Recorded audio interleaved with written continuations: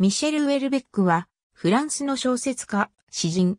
フランスの海外圏である、インド洋の孤島レユニオンに、ミシェル・トマとして生まれる。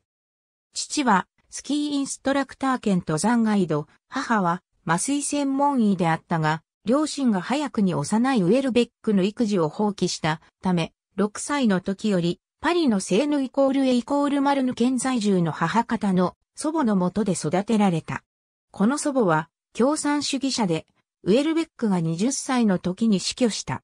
後に筆名として採用したウェルベックは、この母方の祖母の旧姓から取られている。同県網のアンリモアッサン中学校で寄宿生として過ごした後、1980年、グランゼコールの国立パリクリニオン高等農業学校を卒業。同校は農業技官を育成するためのエリート校であり、過去の卒業生にアラン・ロブイコールグリエがいる。卒業後最初の結婚をし、息子を設けるが、やがて離婚。精神が不安定になりたびたび精神病院に入院するようになる。この頃に農業学校時代に始めた試作を再開し、1985年、ヌーベルレビュー誌に自作の詩が初めて掲載された。1991年、10代の時に愛読していたラブクラフトの伝記、HP ラブクラフト世界と人生に抗ってを出版。続けて2冊の詩集、生きてあり続けること、幸福の追求を出版し、後者でトリスタンツァラ賞を受賞。この間には、コンピュータの管理者としてパリで働いていた。1994年、初の小説、闘争領域の拡大を、モーリスなど社から出版し、カルト的な人気を得る。1998年、長編第一作、素粒子を発表。強い性的コンプレックスを持つ男性高校教師と孤高の天才科学者という対照的な不兄弟の詩的な物語を量子論や遺伝子工学といった科学的知見を交え壮大な SF 的枠組みの中で語るという異色の作品で、出版後フランスの読書会にセンセーションを起こし30カ国語に訳された。その後中編小説、ランサローテ島を経て2001年に長編第2作、プラットフォームを出版。タイを舞台としたセックスツーリズムをテーマとした作品で人権思想家やフェミスト、イスラム原理主義などへの攻撃的な文章がアメリカ同時多発テロ事件と時期的に重なったことも相まってスキャンダラスな話題作となった。2005年には再び SF 的な構想に挑戦した長編第3作、ある島の可能性を観光、著者自ら自分の最高傑作を自負した作品でこれもベストセラーとなる。ウェルベックは素粒子、プラットフォーム、ある島の可能性で、それぞれコンクール賞にノミネートされながら受賞を逃していたが、2010年、架空の現代美術家の生涯を主題にした長編、地図と領土によってこの賞を受賞した。この作品では、ウェルベックが主要人物の一人として登場するほか、フランス語版ウィキペディアからの引用部分が表説に当たるとして訴えられたことでもメディアを騒がせた。2015年1月7日、2022年にムスリムがマリーヌ・ルペンを破ってフランス大統領となるという近未来小説、服従を発表したが、くしくもその日にシャルリー・エブド襲撃事件が起きた。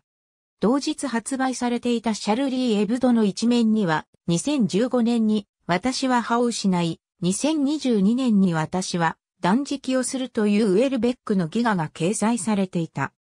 その上、ウェルベック自身がたびたびイスラム教を批判していたこともあって、国内外で大きな反響を呼びフランス国内で60万部を超えるベストセラーになったが、彼の友人のエコノミスト、ベルナール・マリスが事件で殺害されたことを受け、ウェルベックは服従の広報活動を中止した。同年1月27日、ウェルベックは警察の保護下に入ったと伝えられている。その後、1月末にウェルベックは姿を現し、我々には火に油を注ぐ権利があると発言した。そして、服従は同年11月13日に発生したパリ、同時多発テロ事件の背景を理解する上で貴重な視点を提供する作品と称されることとなった。同書は同年9月に日本でも発売された。ウェルベックは著作活動のほか、自作の詩を用いた音楽活動なども言っており、これまでに3枚の音楽 CD を出している。2008年には自作、ある島の可能性を自らの監督で映画化した。2019年ヨーロッパ文学のためのオーストリア。国家賞受賞。ABC ミシェル・ウェルベック、素粒子、野崎寛役、筑摩書房、2001年。349から352ページ。デイビーズ、リジー、 Houellebecq fights off claims, of plagiarism in new novel。The Guardian、main section、P16、published online as、Michel Houellebecq novel ruffles literary world again。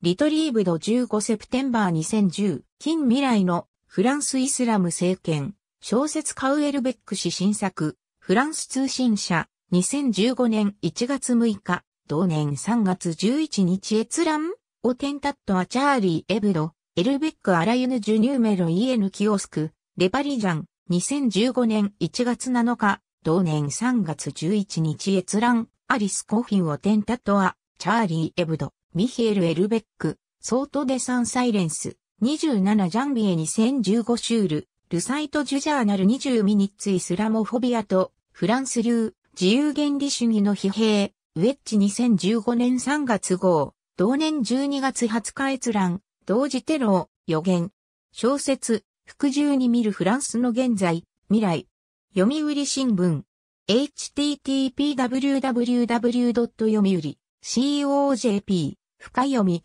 一覧、2015万1119オイト A と T5 万62 HTML2015 年11月20日閲覧。ありがとうございます。